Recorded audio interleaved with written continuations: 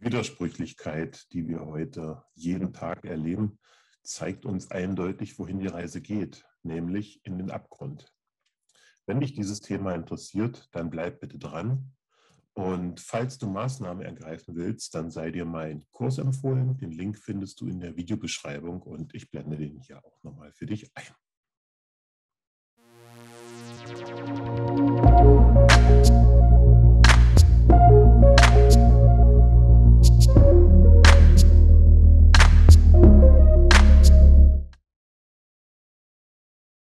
Hallo und herzlich willkommen auf meinem Kanal. Mein Name ist Michael und auf diesem Kanal geht es um den Schutz deiner Ersparnisse vor Entwertung und Enteignung. Und heute möchte ich dich gerne durch ein paar Pressemeldungen äh, mitnehmen oder die wir äh, mit dir gemeinsam anschauen und versuchen, dort so ein bisschen die Zusammenhänge herzustellen, wohin die Reise hier geht. Und damit fange ich jetzt einfach mal an.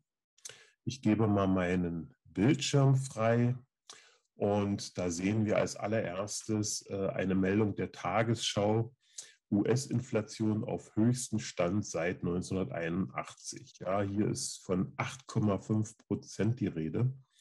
So, und jetzt könntest du dich natürlich fragen, ja, was interessiert mich die Inflationsrate in den USA? Ähm, ganz einfach. Erstens mal äh, ist der US-Dollar Weltleitwährung. Das heißt, der Euro ist auch an den US-Dollar angekoppelt. Und zweitens ähm, wissen wir, dass die Entwicklung in den USA der unsrigen immer einige Monate voraus ist.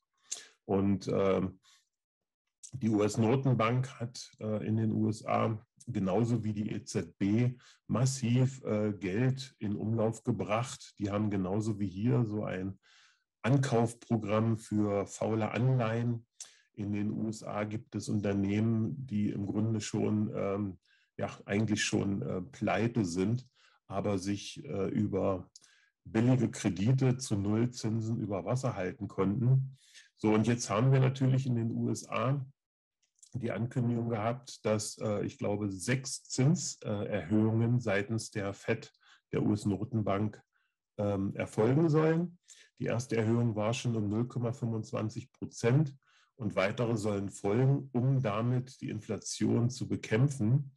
Ja, und ähm, was da im Grunde dann passieren kann oder ähm, was höchstwahrscheinlich passieren wird, ist, dass äh, als allererstes diese Zombie-Unternehmen, die sich jetzt mit äh, Nullzinskrediten über Wasser gehalten haben, dann plötzlich für ihre Kredite Zinsen bezahlen müssen und äh, ja, das nicht packen ja, und äh, in die Pleite gehen. Was wir in den USA auch beobachten, ist, dass die Leute aufgrund der gestiegenen Preise ja, äh, zurückhaltender beim Einkaufen werden. Ja, also der Konsum ging äh, zurück. Und äh, wenn jetzt Konsum zurückgeht, dann hat das natürlich Auswirkungen auf äh, die Wirtschaft. Ja, USA ist, die USA sind ein Staat, wo im Grunde nicht viel exportiert wird, sondern wo weitestgehend das, was produziert wird, im Land verbraucht wird. Und wenn dann die Verbraucher dort mit ihrem Konsum äh, zurückhaltender werden, dann haben die Unternehmen natürlich weniger Einnahmen, haben weniger Gewinne, können im Grunde ähm, ja, Lohnerhöhungen, da ist ja aufgrund der gestiegenen Preise gibt es ja die Forderung seitens der Menschen nach Lohnerhöhungen. Das können sie im Grunde nicht leisten. Und ähm, das bedeutet, dass die Menschen weiter noch stärker verarmen werden.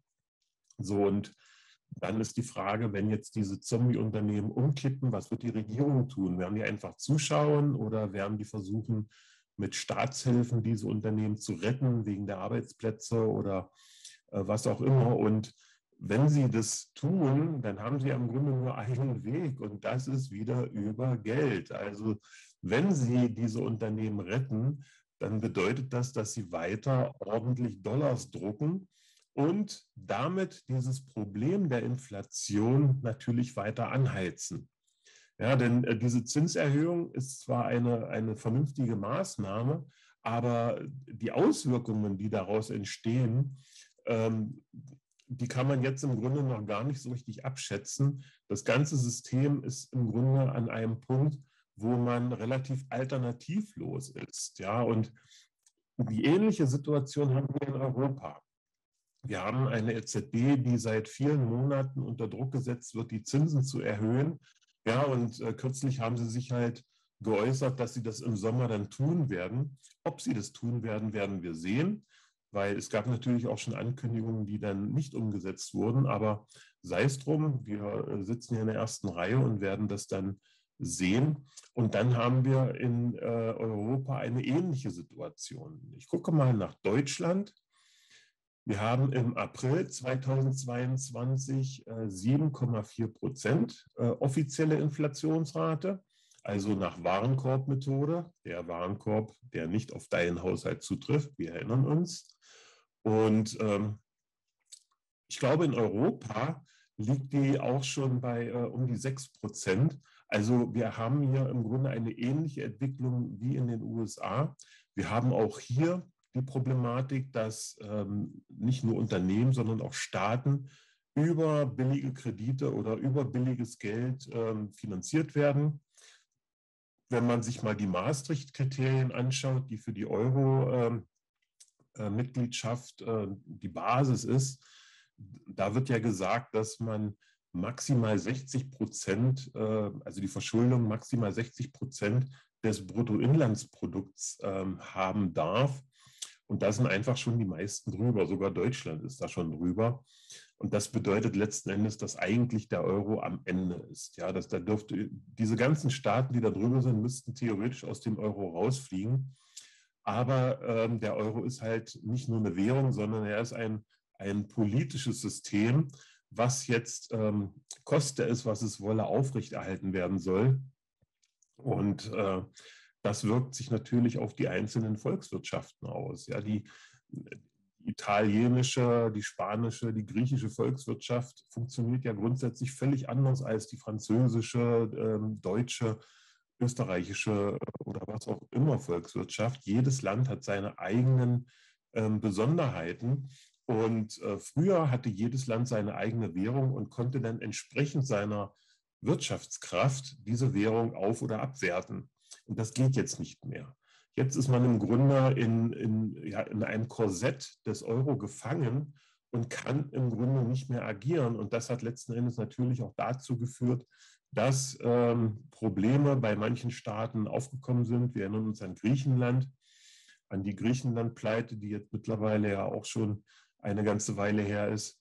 Und ähm, wir erinnern uns daran, dass ähm, ja, ein ESM gemacht wurde, also ein Rettungsschirm für Pleitestaaten. Und wir erinnern uns daran, dass Deutschland der größte Einzahler ist. Ja, und wenn die äh, Europäische Zentralbank jetzt beispielsweise die Zinsen erhöht und die Staaten damit in die Pleite treiben sollten, dann ähm, sind wir natürlich in der ersten Reihe ich meine, wir hier in Deutschland zahlen sowieso schon die höchsten Abgaben europaweit. Und ähm, ja, das Thema Vermögensabgabe wird dann höchstwahrscheinlich äh, noch aktueller werden, als es jetzt schon ist. Das ist ja jetzt mittlerweile schon in aller Munde. Es wird ja im Grunde schon ein Narrativ gebildet, dass eine Vermögensabgabe äh, wegen ähm, Corona-Impfungsnebenwirkungen äh, gemacht werden soll. Dann soll eine Vermögensabgabe wegen äh, Unterstützung der Ukraine gemacht werden und so weiter. Also Gründe gibt es viele. Und ähm, ja, wir werden mal sehen, wohin die Reise geht. So, was haben wir hier? Die Umfrage. Mehr als 80 Prozent der Menschen in Deutschland schränken Konsum bereits ein. Ja, und das ist genau die Entwicklung, die wir in den USA haben. Ich habe das ja vorhin schon gesagt. Auch in den USA geht der Konsum zurück und dadurch kommt man halt in so eine ähm, Schleife, wo es eigentlich kein, kein Heraus gibt. Der Unterschied hier in Deutschland ist, dass wir halt ein Exportland sind und dadurch ähm, trifft das jetzt die äh, Wirtschaft nicht so stark wie beispielsweise in den Vereinigten Staaten. Aber äh, natürlich haben wir auch einheimische Produkte, die dann im Grunde weniger gekauft werden und wir dürfen gespannt sein, wie sich das hier entwickelt. Also ähm, positiv ist was anderes. So, dann haben wir hier den Herrn Kretschmann. Ja. Ich finde es immer gut, wenn Politiker sich darüber äußern, wie wir uns zu verhalten haben und was für uns hinnehmbar ist. Und ähm, ich meine, diese Figuren, die sind alle in der finanziellen Vollversorgung. Ja, die werden von Steuergeldern bezahlt und das nicht schlecht. Und ähm, denen geht es einfach nicht so wie uns. Die haben ja teilweise völlig den, den Faden verloren und, und haben überhaupt keine Ahnung, wie es den Menschen hier geht. Also ist ihnen auch völlig egal, scheint mir. Ja. Also er hält materielle Wohlstandseinbußen für hinnehmbar. Danke, Herr Kretschmann, für Ihre Meinung, aber äh, ich finde, es ist nicht hinbar, hinnehmbar. Diese ganze Geschichte mit den Sanktionen geht dermaßen nach hinten los.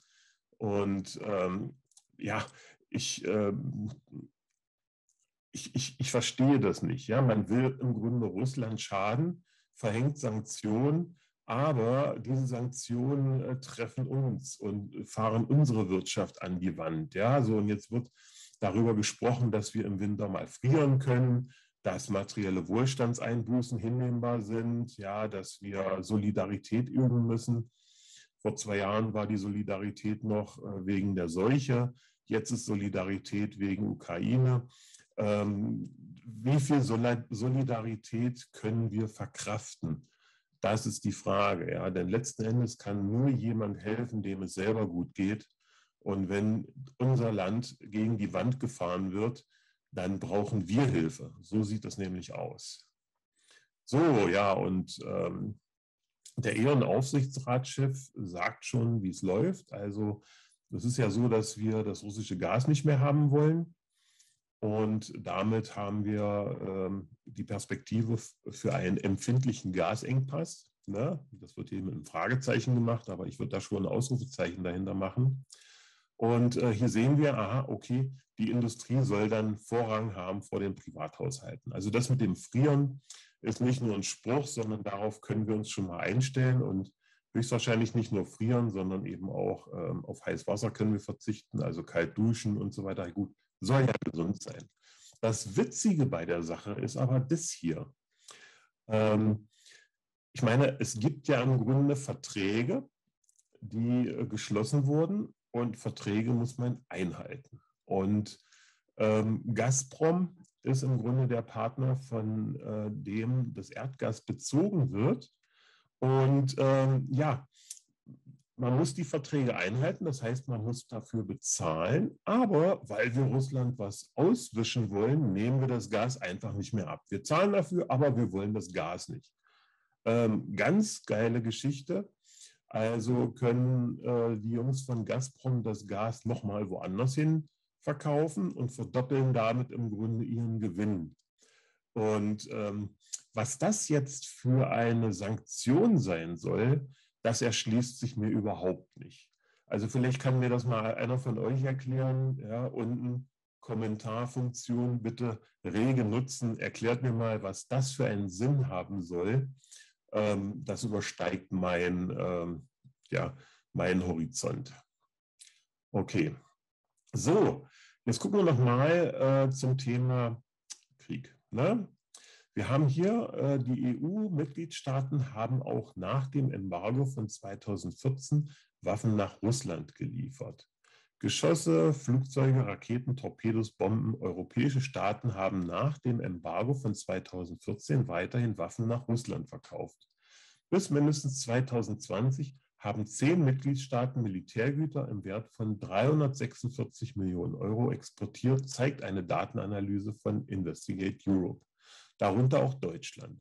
Einige dieser Waffen könnten jetzt gegen die Ukraine im Einsatz sein. Ja, und das ist, äh, ich nenne das immer gerne Doppelmoral, weil ähm, letzten Endes äh, Waffenexporte, Waffen ist ein lukratives Geschäft. Man will Kohle verdienen, ist auch nichts daran auszusetzen. Aber jetzt versucht man natürlich, äh, die Gegenseite zu unterstützen. Ähm, das gab es schon mal im Verlauf des äh, Zweiten und Ersten Weltkriegs, dass da beide Seiten unterstützt wurden. Aber das Fass will ich jetzt nicht äh, aufmachen. Der Punkt ist diese Scheinheiligkeit, ja, denn ähm, letzten Endes ähm, wird im Grunde hier äh, deutlich, dass es im Grunde völlig egal ist. Hauptsache, man wird das Zeug los und Hauptsache, man kann sich als äh, Gutmensch darstellen. Und ähm, ja, ich finde es einfach fürchterlich. So und ähm, was den Krieg betrifft, da wird ja die Information noch relativ einseitig verbreitet. Ja, ich will jetzt hier dieses Fass nicht weiter aufmachen und äh, riskieren, dass ich hier gesperrt werde.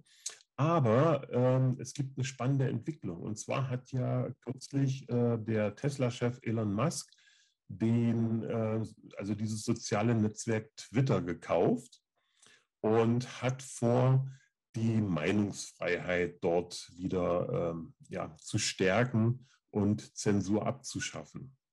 So, jetzt bin ich nicht unbedingt ein Fan von Herrn Musk, weil er, ähm, ich sag mal so, er ähm, ist halt auch ziemlich nah an, äh, an China und China hat ja mit Meinungsfreiheit nicht so viel zu tun, aber sei es drum, man erkennt äh, eine riesige Diskussion. Ja, viele rennen rum wie aufgescheuchte Hühner. Und äh, die neueste Entwicklung dazu ist das hier. Und zwar planen die Amerikaner eine Art Wahrheitsministerium, um letzten Endes ähm, ja, Fake News zu unterdrücken. Ja? Und Fake News sind natürlich die Informationen, die die Menschen nicht hören sollen. Und die wahren News sind die, die die Menschen hören sollen. Und ähm, das kannst du dir selber mal durchlesen. Ja, kannst es auch gerne mit der Übersetzungsfunktion ins Deutsch übersetzen. Aber äh, das ist im Grunde eine Geschichte, die schon in Richtung einer Dystopie geht. Dazu kommt, dass wir äh, jetzt in unserem Nachbarstaat Frankreich, ähm, da habe ich jetzt keinen äh, Beitrag dazu, aber den findest du selber ganz schnell, da wird jetzt der digitale Ausweis eingeführt die Franzosen sind äh, wie üblich bei solchen Sachen äh, auf den Straßen und äh, legen alles in Schutt und Asche. Dort gibt es ja dann noch eine etwas heftigere Streikkultur als hier in Deutschland. Ähm, will ich nicht gutheißen, aber zumindest sieht man dort, dass die ähm, kürzlich gewonnene Stichwahl von Herrn Macron jetzt im Grunde den Weg ebnet in Richtung ähm, mehr Kontrolle und so weiter und so fort. Und äh, wenn wir gerade bei diesem Thema sind, in Italien äh, wird äh, ein Belohnungssystem eingeführt, ja, also ein Sozialkreditsystem äh, nach chinesischem Vorbild, wo liebe Menschen belohnt werden und böse Menschen bestraft werden. Also schöne neue Welt. In diese Richtung geht's. Also mit Volldampf an die Wand. Und ähm, wie vorhin schon äh, gesagt, ja, ganz am Anfang beim Thema Inflation, das Thema Vermögensabgabe wird halt immer aktueller. Und äh, deswegen liegt es jetzt in deinen Händen, dich vorzubereiten und dafür zu sorgen, dass man halt an deine Ersparnisse nicht heran kann. Ich habe ganz am Anfang meinen Kurs erwähnt. Äh, wie gesagt, Link in der Videobeschreibung. Ähm, schau dir das an, das ist kostenlos, unverbindlich, gibt dir Anregungen und äh, dort kannst du auch gerne meinem Konzept folgen, was ich für mich gewählt habe. Das habe ich nicht erfunden, ich habe es nur ausgewählt. Und äh, ja, damit bin ich jetzt für heute erstmal wieder am Ende. Danke, dass du bis zum Schluss durchgehalten hast. Freue ich mich riesig drüber. Wenn dir das Video gefallen hat, dann gib ihm gerne einen Daumen nach oben. Schreib deine Meinung in die Kommentare und hinterlass mir gerne ein Abo und aktiviere die Glocke, damit du kein Video mehr verpasst. Ich freue mich darauf, dich beim nächsten Video wiederzusehen und bis dahin wünsche ich dir alles Gute und sage bis bald. Ciao.